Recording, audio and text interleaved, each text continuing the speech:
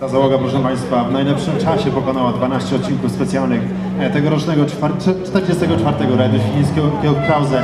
A jest to, proszę Państwa, Grzegorz Grzyb i Robert Kundla, którzy już powolutku wjeżdżają na rampę mety tegorocznego rajdu z ich samochodem rajdowym, czyli tym samochodem, którym e, tak dzielnie podróżowali po tych e, bardzo trudnych, bardzo szybkich trasach.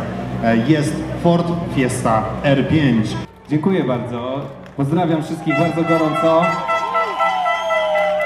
Słuchajcie, było Was strasznie dużo na trasie i to jest niesamowicie miłe, ale chciałbym z tego miejsca przede wszystkim podziękować wszystkim organizatorom, panu dyrektorowi, całemu sztabowi, ludzi, bo wiem ile ludzi pracuje przy takim rajdzie. Naprawdę rajd był świetnie zorganizowany, wszystko naszym zdaniem z Robertem było naprawdę na 100% zapięte na ostatni guzik.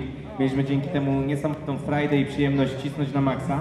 Mam nadzieję, że wielu z Was podobała się jazda wszystkich załóg i nasza i naszych kolegów, bo naprawdę rywalizacja była niesamowicie zacięta. No i cóż, na pewno zobaczymy się za rok, na pewno, bo przyjadę tutaj, żeby nie wiem co i dziękuję ślicznie jeszcze raz. Dużo brawa, proszę Państwa. Grzegorz Grzyb, Robert Kundla po raz drugi zwyciężają w rajdzie świetlickim Krause. Wspaniały rajd. 44. rajd świetlicki Krause powolutku przechodzi do historii.